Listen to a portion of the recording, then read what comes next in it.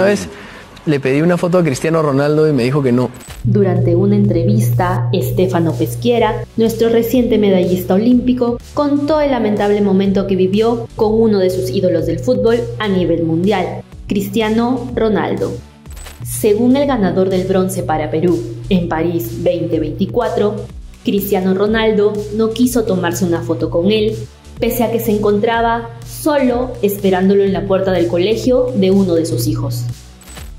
Una vez le pedí una foto a Cristiano Ronaldo y me dijo que no. Mi tía trabajaba en el colegio del hijo de Cristiano Ronaldo dando clases. Obviamente entiendo, era su espacio personal. Yo estaba solo y no había nadie más. Y conocía cuál era su carro, porque era el que le daban en el Real Madrid en ese tiempo. Me acuerdo que antes que suba le dije, Cristiano, ¿me puedo tomar una foto contigo?